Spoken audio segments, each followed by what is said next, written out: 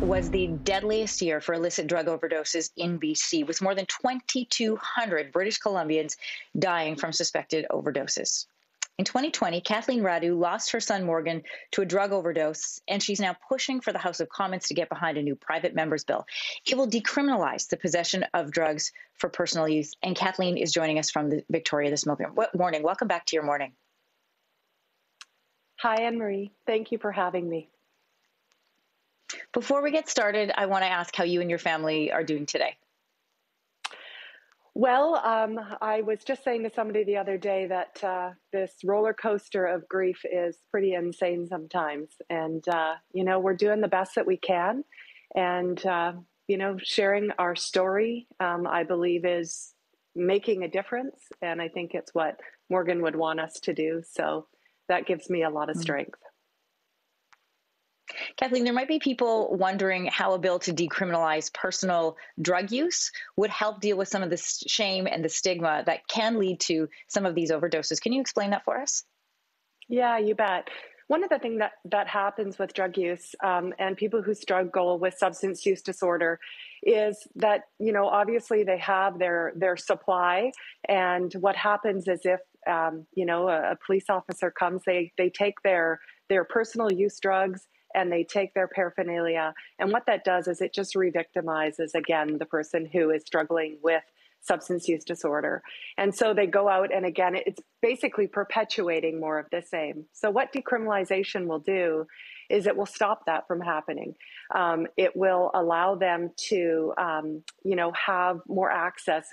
When once some, somebody is criminalized, obviously there's so many things that change, whether that's employment down the road or all of those types of things. We want this to be treated as a health crisis, not as a criminal issue.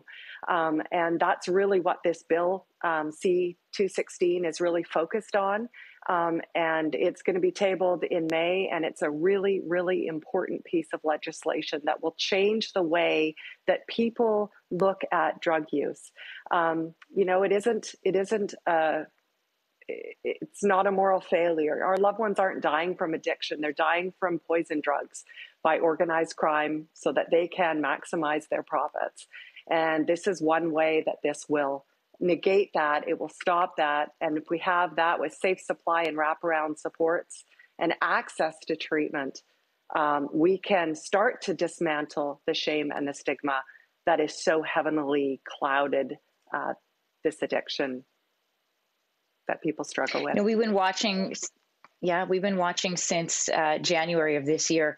I mean, just the the health uh, officials in the province of BC echoing what you're saying, which is this is a crisis. This is parallel to what we're dealing with in COVID, and we need an immediate and a strong response from the government. You're a member of Moms Stop the Harm. This supports uh, this motion to decriminalize people who use drugs. Can you tell me about what you're working with? Yeah, so Moms Stop the Harm is a, a group where families um, come together. It was started by a group of moms who who'd lost their children through uh, an overdose, and um, it's really it has lots of parts to it. So we have a holding hope group, which is for families whose parents uh, kids are struggling with active addiction and then we also have a lot of other resources for people like myself who have lost a child uh, to an overdose so um, with Mom Stop the Harm. We do, you know, we do a lot of advocacy. We're out there trying to share our stories because we really believe that when we share our stories openly, the thing that a lot of people don't realize is that this is, you know, when when somebody struggles with addiction, this isn't just, you know, people that um, you know are homeless or live on the streets. That is such an important part of people that do struggle mm-hmm. with it, but it's also people like us, just people from normal families, recreational users that are using, that are dying from these toxic drugs. And we've never seen 20 people a day in Canada are dying. And we've seen the government mobilize so quickly with the health crisis that we saw with COVID. And Justin Trudeau mm-hmm. has called this a health crisis, and we need him to mobilize. We need all levels of government to come together. And so, what Mom Stop the Harm is doing is, oh, yeah, sorry. Sorry, I, we're going to have to leave our conversation there, but uh, we're going to put on our social media channels how people can help support this bill as well and okay. the work that you're doing. And like you said, take strong action against a crisis that is affecting our country right now. Thanks so much for joining us again.